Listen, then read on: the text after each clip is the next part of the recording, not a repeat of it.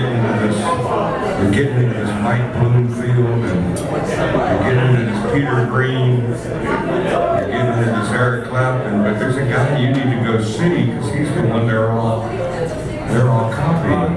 And, uh, I said, well, who, who do I need to go see that these guys are copying? He said, you need to go see B.B. King. So it was a time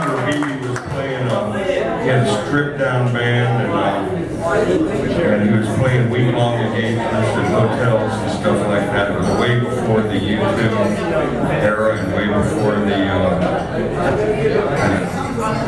commercials and stuff that got to on television and all the fame. And yeah, he was playing week long engagements in nightclubs and hotels. And, on Saturday afternoon, they, they had a teen show. You know what a teen show is? That's where they shut down the bar and teenagers go and drink soda pop and, listen to people play at nightclubs. So there's about 30 or 40 of the stoners there, and you're watching. Wait a minute, I say stoners? Kids.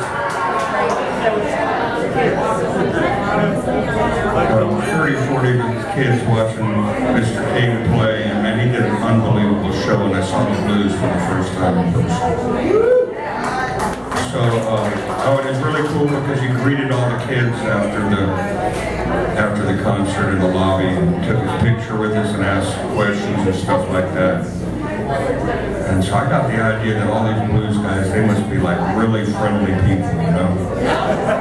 And the next guy we could see was Howlin' Wolf. So Mr. Wolf comes off the stage and he's standing over there and he had just done a riveting set of Chicago blues, the real thing. And uh, he had Hubert Sumlin on guitar, the great Eddie Shaw is still working today on saxophone, S.P. Leary was in the band.